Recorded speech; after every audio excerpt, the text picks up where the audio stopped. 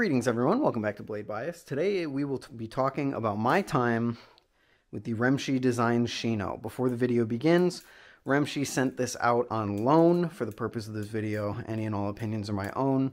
Remshi is a good friend of mine. Keep that in mind as I give my opinions.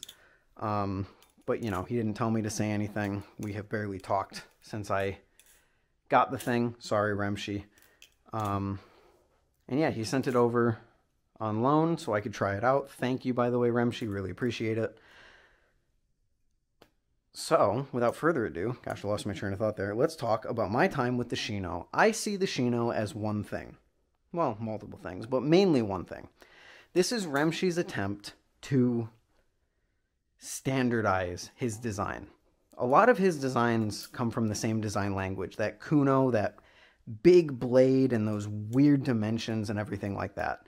The Shino is the attempt to appeal to someone who's less about personality in a balisong, like I am, and more about performance in a balisong. Someone who just wants to flip their Kraken trainer because it does what they want it to do when they want it to do it. And I don't think I could describe the Kuno as that, Remshi's original design. The Kuno was a vastly unique, fun flipper very floaty, very long, very light. It delivered an experience that no other balisong could. And while that was extremely appealing to some people, it wasn't super appealing to the more performance oriented crowd. So the Shino is an attempt, at least the way that I see it, to appeal to those people who like the design language but want more standard performance in their balisongs. Something that feels a little bit more normal compared to other flippers. And I think that Remshi has partially succeeded in that. I do think he has succeeded, but not entirely. Because I have one big, yet also small, ironically, problem with the Shino. And we will get into that in just a bit. But first, let's kind of just go over kind of how it flips. This, as a standardization, like I mentioned, of Remshi's lineup, flips quite well, I think. Zero G's, rollovers are sticky enough. It scissors great, it aerials great, it's predictable. Fans feel okay, choker fans feel okay. It does really whatever I want it to do, and it's agile enough and a standard weight enough that I can do them with ease. I actually really enjoy flipping the Shino a majority of the time. Again, we'll get into that later. The design is great. I love this little karambit hole that you can use to spin the thing around if you have small enough fingers, which I do, and it's properly chamfered on the inside so that doesn't cut you. The overall design is comfortable, um, certainly more comfortable than the one he brought to Blade Show, less square, less boxy, and with these shorter handles, which ironically is my big yet physically small problem with the Shino. You see, when I flip the Shino, 90% of the time, I'm having a great time. I'm really enjoying it. But 10% of the time, it just does something that I don't expect that ends with me being a little frustrated, whether it flies off or the choker fan just stops dead in its tracks or something happens that I'm not expecting. And while it doesn't happen enough for me to completely write the Shino off, it does happen enough that I am noticeably frustrated when it happens and if it happens too much over a shorter period of time, I will leave my session with this with the Shino feeling frustrated, genuinely. And again, while it's not all the time and it's not enough for me to say that this thing isn't worth it or this thing sucks, it's still just a little annoying and certainly annoying enough to drop this thing down by a point easily. If we were going on a 10 point scale, which I don't like to do, but I'm going to do now for the sake of um, visualizing my point. If I were to give this thing a 10 point scale rating, it would be like a 7.5. It's above average, it's fun. Does it beat out some of my favorite performers, things like the Seraph Slift T trainer? No. But is it a really, really fun trainer that has a unique enough profile to keep me interested while still having enough performance to keep the more hardcore audience interested? Yes, I think so. But those lit those 10% of the times where it just does something unexpected, drop it down to a six and a half for me easily. Still above average, but just frustrating enough to sour my experience just a tiny bit. And all of that problem comes down to the fact that this blade is longer than these handles. The tip goes to the end of the handles, and the Zen nipple extends far beyond. And if we compare this to a more standard balisong, something like the wing, you put them next to each other and you go, oh, they're a similar length. I mean, sure, the, the Shino's a little bit bigger, but that's kind of what Remshi's known for. Until you look at the fact that most of the difference here is in these handles. These handles are a good pivot radius above where they are in the Shino. And the problem with balisongs is that they are a pendulum, as Will has talked about ad nauseum in his videos. The more weight you have, the further away from the pivot point of something that swings, the more momentum it will generate. The problem with the Shino is that not only is there not a ton of weight down here, something that hopefully will be fixed with Remshi's planned swappable weight system, but these this lower weight is also closer to the pivots than it otherwise would be. And when you combine that with an abnormally long blade, half of the time that I flip the Shino, I just find myself missing that little bit of handle length.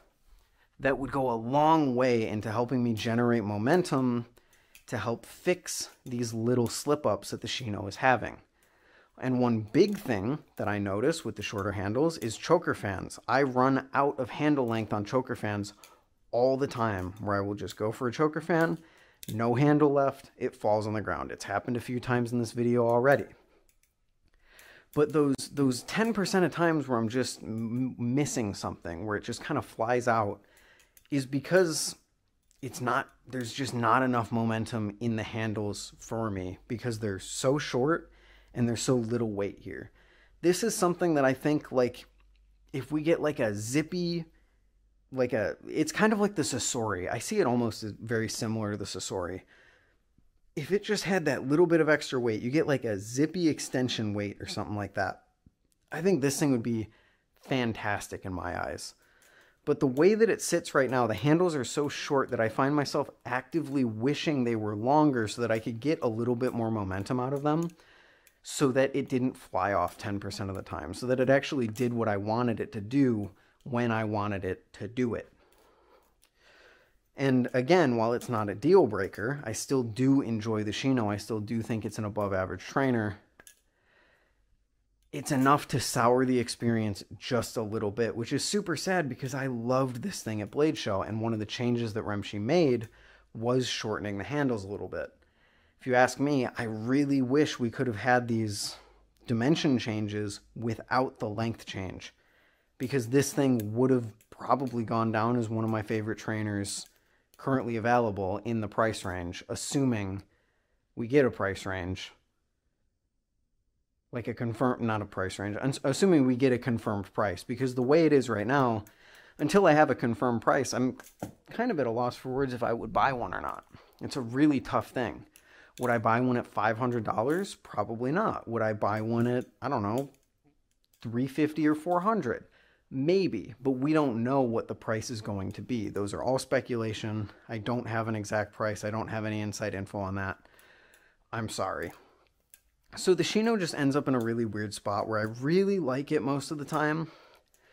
But if I get unlucky enough, if I'm not good enough that day, if my skill issues are fighting against me just enough, it creates an experience where I do actively get a little frustrated with flipping it and I just want to go to something else. Something that has that extra length, something that has that extra weight to it, something that has that momentum to it. So I think that's where I stand on the Shino. Um, that's just my personal preference. Some people might really like these shorter handles and longer blade because that's the other thing. The blade is so long that it even exacerbates the short handles even more especially in things like fans. Sometimes I just can't get the handles to kick out with enough momentum to actually get a good fan going. Um, but that's just me. Your mileage may vary. Some people might really like this more. I wouldn't even call it a blade biased experience though. It it definitely still has a hint of handle bias to it, but it's like a weird handle bias. I don't know, man. Um, but some people might really enjoy this experience. More power to you if you do. I'm like partially one of you because again, I really like this thing on some days, and some days I'm a little frustrated with this thing. So yeah, that's where it stands. Huge thank you again to Remshi for sending this thing out for me to test out. I really appreciate it. It's been a lot of fun. Um, I'm cautiously optimistic to see where it goes because I think with even just a like a single change, even just like an aftermarket change, like if Zippy gets his hands on this thing, then dude, we might be in business to this might be genuinely one of my favorite trainers. And I mean that just to, oh, just a zippy extension would be so nice. Or maybe even just heavier weights. I don't know. I genuinely don't know if heavier weights would fix it or if I'm really just missing the handle length. I don't know. That's going to do it for this one. Thank you all for watching, and I'll see you all in the next one. Later.